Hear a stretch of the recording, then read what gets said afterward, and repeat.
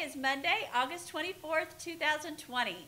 It is week two of Level Red and e-learning. Make sure to work hard and stay connected this week. It is time to find out today's vocabulary word of the day. Today's vocabulary word is favoritism. The definition of favoritism is treatment that unfairly favors some over others. An example sentence is, I try my best not to show favoritism to my dogs. I love both Molly and Bridget just the same. Let's take a look at this week's weather forecast. For the weather this week, we will see temperatures in the low 90s and high 80s. We might see some rain at the end of the week that will drop the temperature to the low 80s. Up next, we have some jokes to get you through the week. Okay, boys and girls, we have a joke for you today. What do you call a boomerang that doesn't come back? What do you call a boomerang that doesn't come back? It's a stick. Because when you throw a boomerang, it comes back, but a stick just falls to the ground. Hey, Miss Sullivan, do you know where cows go on Friday nights? I don't know, Mrs. Stout. Where do cows go on Friday nights? To the movies!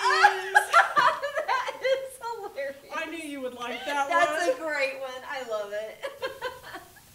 Mrs. Farron, why did the student eat his homework? I don't know. Why did the student eat his homework? Because his teacher told him it was a piece of cake.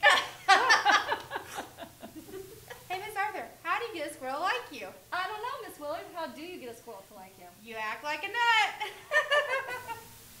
So hey, uh, where do uh, fish keep all their money? I don't know. Where do fish keep all their money? In a riverbank. Thanks for sharing those jokes. And now I want to wish happy birthday to these students. Happy birthday this week to Annabelle D, Serenity B, Larry B, and Jalen W. Happy birthday to It's time for the Pledge of Allegiance and the Dolphin Daily Pledge. Please stand and join us in the Pledge of Allegiance, followed by a moment of silence. Then remain standing for the Dolphin Daily Pledge.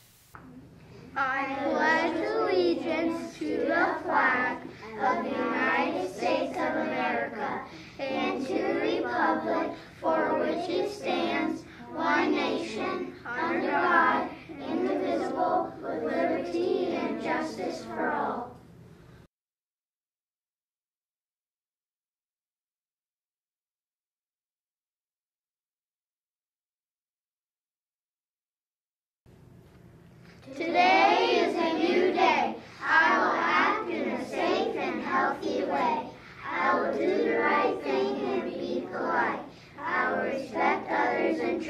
Right. I will take responsibility for me. Today I will be the best I can be. Now let's check in with some of our teachers and staff at South.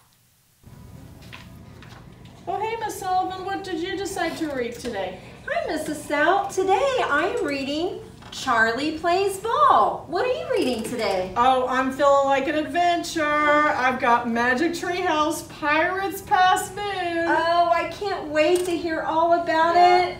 And we can't wait to hear all about the books that you've been reading. Can't wait to see you. Hey, Mrs. Walk-On here. You are doing an awesome job. Keep it up. Hello, boys and girls. It's Mrs. Anderson from third grade. Just wanted to say I miss all of you and can't wait to see you in a couple of weeks. Keep working hard. Hi, boys and girls. It's Mrs. Hostetter from third grade. It's quiet and lonely here without you, so I can't wait to have you in the classroom. See you soon. Hey, everybody. I hope that you are having a good week. I just wanted to check in and to remind you about our engine plates. So if you came here last year, you know all about the engine plate. If you're feeling a little sad or maybe a little tired, you're probably in the blue. Or maybe if you're feeling frustrated or angry or upset, you're probably in the red. And where we want to be is when we're in the green, ready to learn and do the things that we need to do. So for me right now, I'm a little sleepy. I'm a little tired, I'm not gonna lie.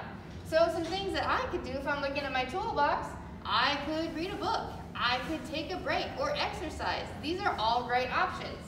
Maybe you just did an assignment and you're really frustrated. You could take some deep breaths, talk to someone about how you're feeling, or you know what? It's good to take a break too, especially when we're frustrated. So we always want to make sure that we are trying to get back into the green. Make sure you use those tools that you know how to use to get yourself back into the green. That is all we have for this week's edition of SES Rewind. Thanks for watching and have a great week.